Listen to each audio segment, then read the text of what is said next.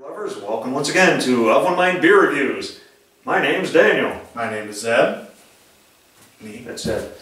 Today we're going to drink from Barrel House Brewing Company in Paso Robles, California.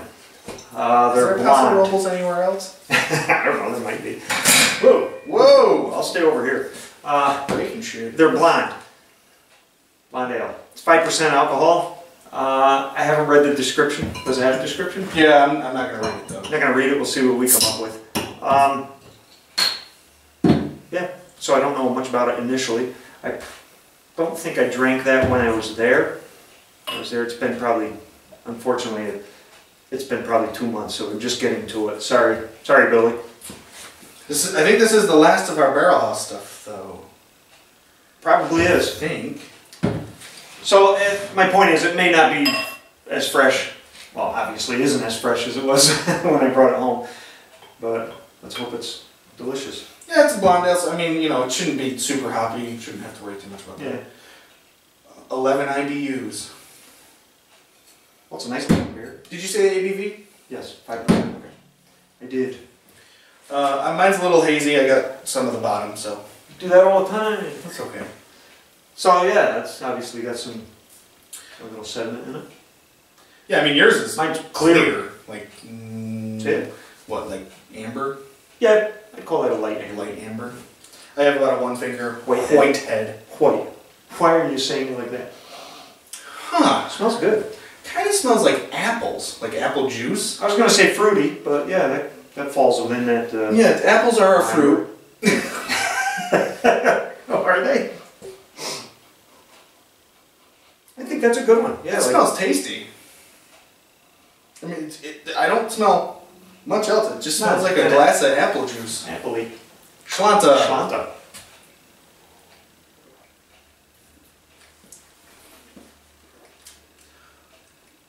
Boy, that's a real drinkable beer. Mm. Taste? I don't know. It's um, kind of kind of like apple. That's really good. Nice job. Really good. Yeah, it's very refreshing.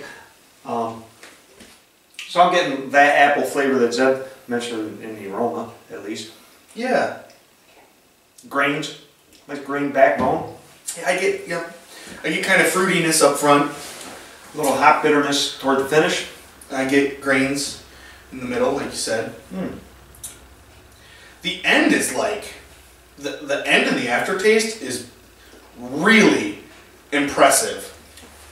Hmm. I get like a lot of like almost like potpourri type type flavors. Yeah, it, it's kind of playing little uh, Mm. Boy, that is, instrumentals like, on my tongue. Really good. Flavorful of whatever you call it on the tongue. that was a good analogy. West Coast hops, blend just enough IBUs for those to appreciate the hops, not too overpowering. For those looking for something balanced and drinkable, boy, those are excellent terms for that That beer's balanced and drinkable, yeah. Um, that's a good one. The beer imparts delicious citrus and fruit character with a smooth finish. So there's pretty blanket descriptions, but I mean, I'm getting a lot of. I get kind of like apple juicy up front, like I said, grains, nice grainy. The grains are throughout, but it's Yeah. yeah, it's like shines in the middle. It's kind of got that grainy, and the end is like I don't know, I don't know what yeast they're using in there, but it's awesome. Delightful. Like, yeah, I'm getting a lot of like I said, like potpourri, flowery, but it's like also kind of fruity. yeah. That is really good. The uh, mouthfeel is, it's actually a little dry, Yeah, it is a little dry.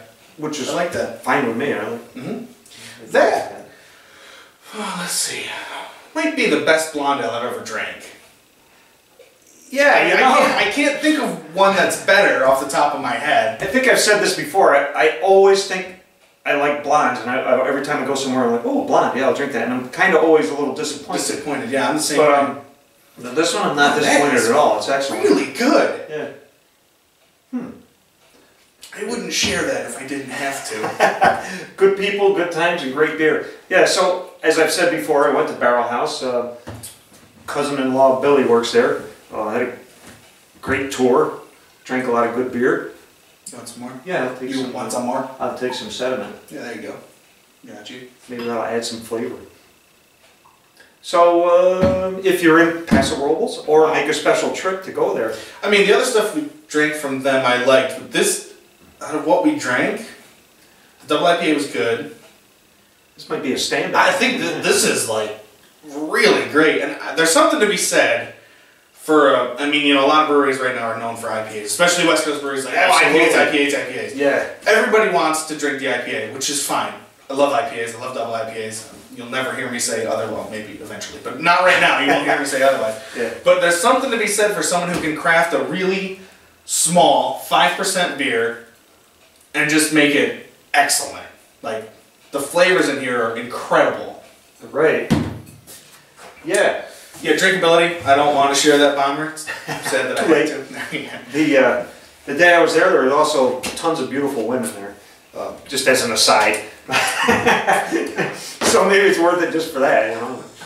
Um, Man, that is a great. is that okay to say that? I don't know. Is that Yeah. politically incorrect or anything? You can say there's beautiful women. Okay. There were. So uh, Wow. rating? yeah, that's a five all day long. I agree. I mean, Five. that is a superb beer. Wish I had a couple more of them. Yeah, it's just it's so refreshing and like crisp. Awesome, awesome beer. Really standout job there. right. So thanks again to Billy and Jennifer for taking us there. And um, Yeah, I wish I could have gone. next time, a little Wish I there. I like beer. Where you're going to? Where? Uh, yeah, maybe. oh. Uh, do you have anything else to say about this? No. Thanks for watching.